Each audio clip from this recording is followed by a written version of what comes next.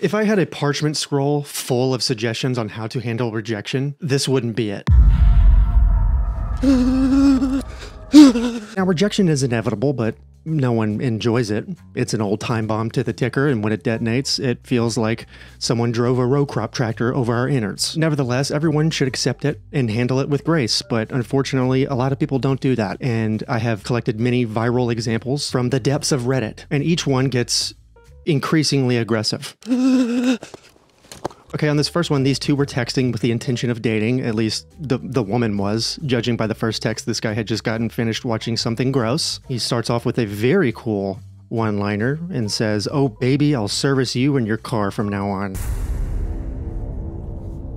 She says, ha ha ha ha ha ha ha ha ha. Let's go on a date before I get serviced. And then he says, I'll be there Saturday, lol. I'm actually staying the night there too. And she says, where? And they cut out this part because privacy. And then she goes on to ask, do you already have plans for when you're here? And he says, hopefully just you, but no plans other than that.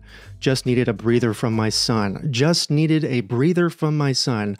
I don't know. Um, when I'm first getting to know somebody, I think I would phrase that a little bit differently and say something like, huh, I just need a, I love my son, but I just, I just need some time to myself. Maybe don't make it seem like you hate your child? I'm going to book a hotel room tonight when my check hits. And she asks, Oh, how old is your son? He says 13. And then he asked, maybe you could stay the night. And she said, I don't do that on the first night. I'm sorry. So he decides to backpedal with no feet. He says, I don't mean all night. She says, ha ha, what? You said stay the night. He's just putting it in reverse with faith. Now he's thinking, oh, I, I gotta go back to the romanticals. I gotta go back to the romantics. He says, I meant like hang out at the room after dinner, maybe cuddle up. I'm a huge fan of cuddles and the best in the world at giving full body massages, which is predictable, but you know, not the worst move. No, the worst move is what he does next. She says, That's not what I usually do after first dates. I just don't think we are on the same page with dating. That's totally okay, just not a match. Putting him down easy, slightly afraid. Then he says something confusing. Uh, he says, Exceptions could be made. What? Lol, what do you mean? I mean dinner, hang out, and eat between your legs like a Sunday lunch buffet after dinner. Clap them cheeks too. Hey,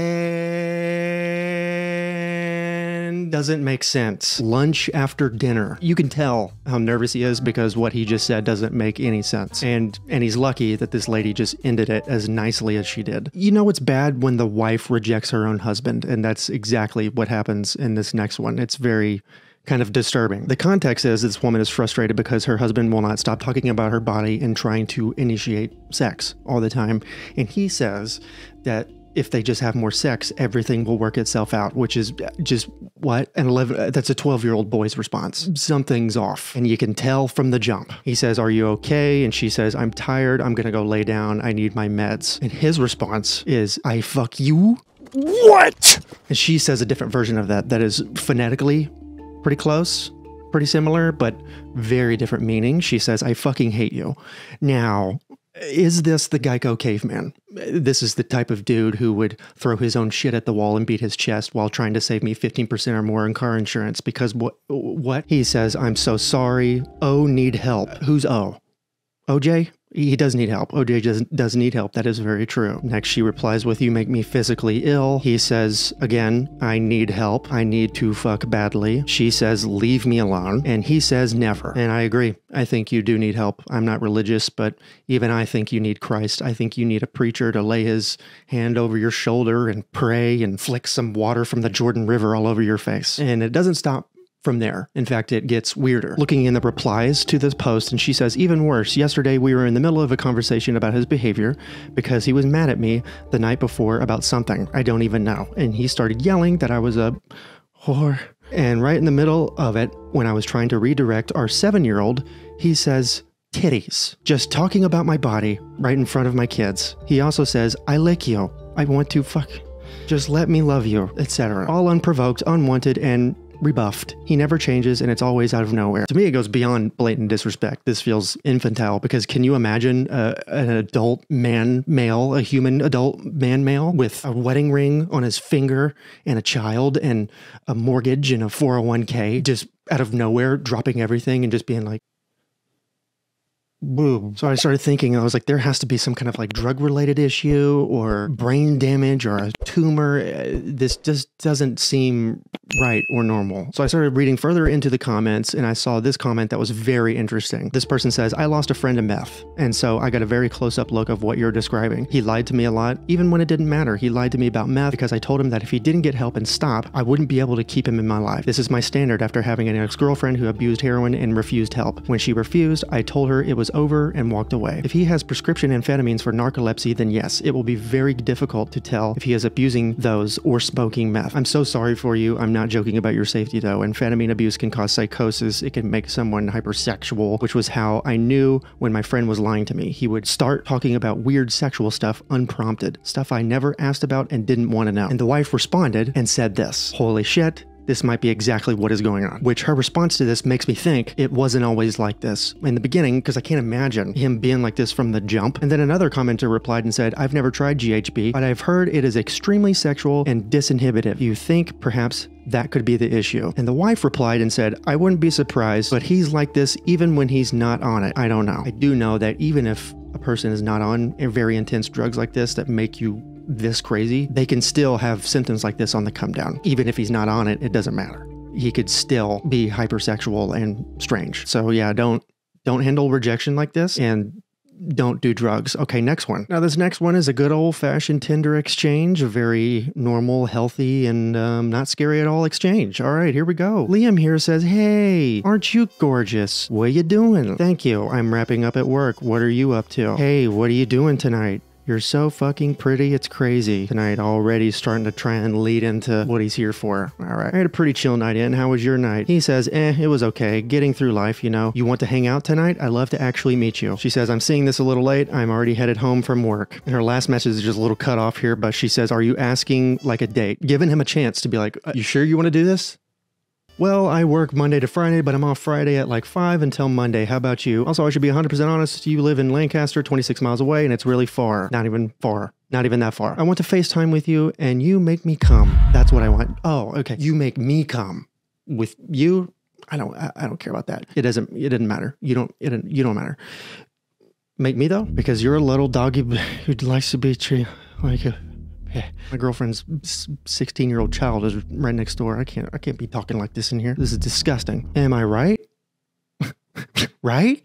Of course, she replies, Are you serious? I work in LA, so it wouldn't have been difficult at all. Thank you for letting me know early that you're disgusting. It's kind of funny because I would have fucked you if you treated me like a fucking person. And he heart reacted it, which Okay. Of course, he's going to temporarily backpedal and he says, Look, that's the dirtiest and weirdest side of me. And the truth is, I should have just gone out with you and treated you like a person. Repeating exactly what she said. No effort. All right. Do you have any thoughts like that? Immediately back into, okay. Because some part of me feels like if I hadn't just fucked this up, that you would be okay with that. As long as I take you out and hold your hand and play you guitar and eat with you and make you laugh. Part of you feels that way. She pretty much, she said that. Have you ever thought about being somebody's pet?